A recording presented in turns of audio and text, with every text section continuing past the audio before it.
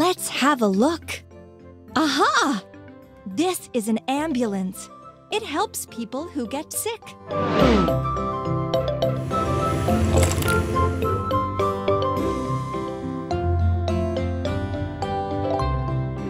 Try to put all the parts together.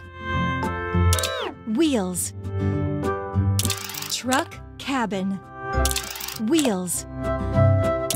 Wheels. Back doors.